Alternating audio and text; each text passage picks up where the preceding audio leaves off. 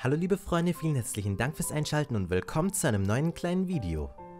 Heute beschäftigen wir uns mit der Frage, was wäre wenn Sarabi statt Mufasa gestorben wäre. Wenn du dich für König der Löwen, die Garde der Löwen oder My Pride interessierst und dir meine Videos gefallen, kannst du meinen Kanal abonnieren, um keine neuen Videos mehr zu verpassen. Außerdem möchte ich mich bei euch bedanken. Die letzte Folge My Pride kam bei euch super gut an. Wir waren über 100 Zuschauer bei der Premiere. Dafür nochmal vielen, vielen Dank. In den nächsten Videos sage ich euch dann, wann genau Folge 5 auf Deutsch erscheinen wird. Und ich hoffe, ihr seid genauso gehypt drauf wie ich. So, aber genug davon und starten wir los mit dem heutigen Video. Wir alle kennen diese dramatische Szene aus dem Film. Mufasa versucht sich mit aller Kraft aus der Schlucht zu retten. Er klettert eine steile Felswand hinauf. Oben wartet sein Bruder Scar auf ihn. Doch statt ihm zu helfen, wirft er ihn mit den Worten zurück in die Schlucht und tötet ihn.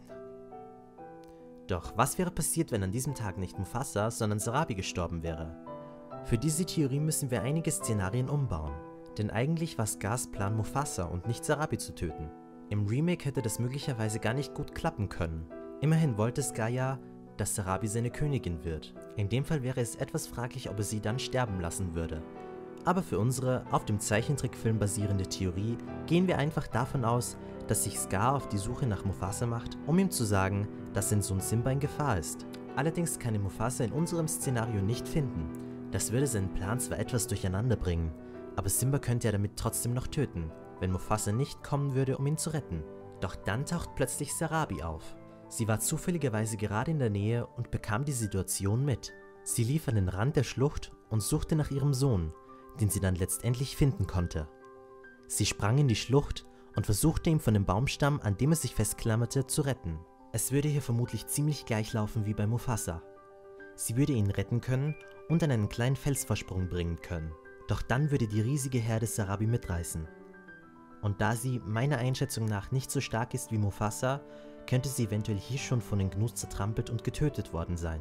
Sollte sie das jedoch überlebt haben, würde sie vermutlich versuchen, aus der Schlucht zu klettern, genau wie Mufasa.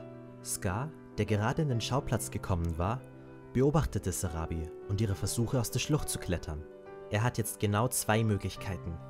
Er könnte sie verschonen und ihr aus der Schlucht helfen, da ihm ihr Tod nichts bringen würde. Oder er würde sie eiskalt töten. Naja, immerhin weiß er nicht, wie viel sie gesehen hat. Vielleicht hat sie mitbekommen, dass Scar Simba in die Schlucht gebracht hat. Und möglicherweise weiß sie jetzt auch, dass er Simba töten wollte. So entscheidet Scar sich in unserer Theorie dazu, Sarabi zu töten. Er würde zu ihr aber vermutlich nicht Lang lebe der König oder so etwas sagen. Ich könnte mir vorstellen, dass er zu ihr sowas sagen würde wie Das ist nichts Persönliches, aber du weißt nun leider zu viel.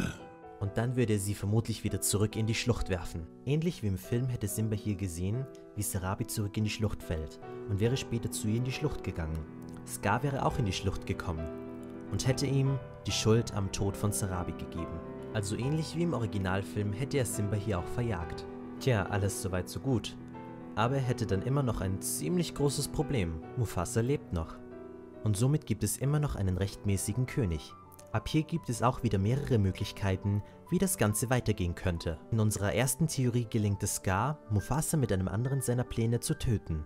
Allerdings würde das Ganze dann ziemlich ähnlich enden wie im Film.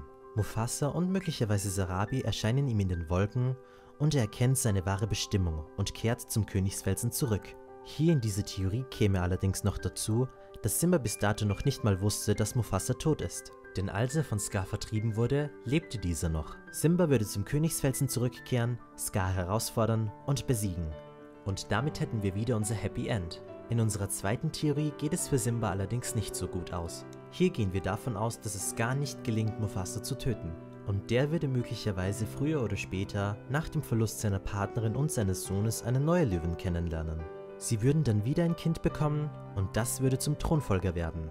Vielleicht würde diese Löwe früher oder später dann auch mit Nala zusammenkommen. Tja, das würde dann aber nicht so gut laufen für Simba. Aber der würde sein Leben im Dschungel bei Timon und Pumba chillen und gar nicht mitbekommen, was da gerade so passiert. Aber was glaubt ihr?